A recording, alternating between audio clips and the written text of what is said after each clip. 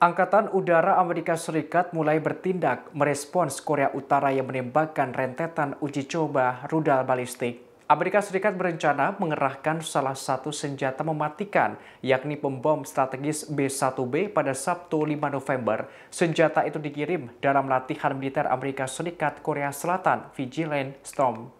Dikutip dari tribunnews.com, saat ini semenanjung Korea menegang. Hal ini karena Korea Utara menembakkan rentetan uji coba rudal nuklir dalam beberapa hari terakhir. Sebelumnya Amerika Serikat dan Korea Selatan telah memperingatkan Korea Utara. Diungkapkan, serangkaian peluncuran rudal dapat menimbulkan ketegangan lebih lanjut.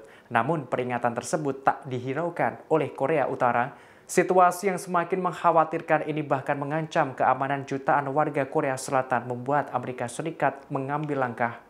Militer Amerika Serikat beserta Menteri Pertahanan Amerika Serikat Lloyd Austin sepakat untuk meluncurkan senjata pesawat pembom strategis B-1B.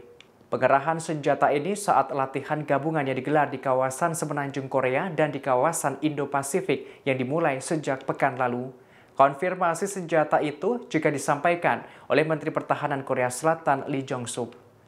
Menhan Korea Selatan menerangkan Amerika Serikat telah setuju untuk menggunakan aset strategisnya ke tingkat yang setara.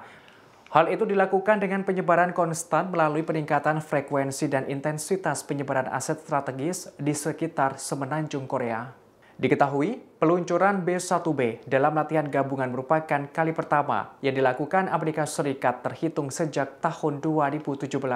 Pesawat pengebom ini memiliki muatan yang begitu besar sehingga set misinya bergeser untuk mengirimkan berbagai serangan pada musuh seperti bom yang dipandu laser, munisi tandan, dan lain-lain. Terkait kekuatannya, B-1B sendiri memiliki radar aperture sintetis yang memungkinkannya melacak armada musuh yang bergerak.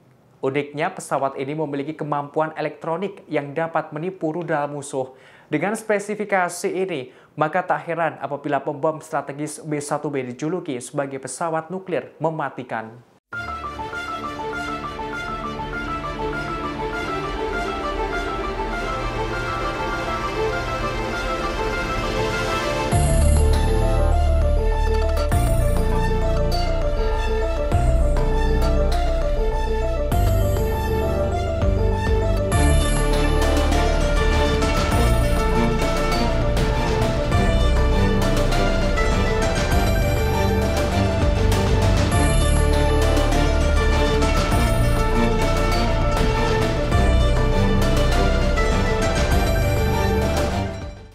Demikian Tribunnews Update kali ini. Nantikan informasi terbaru lainnya hanya di kanal YouTube Tribunnews.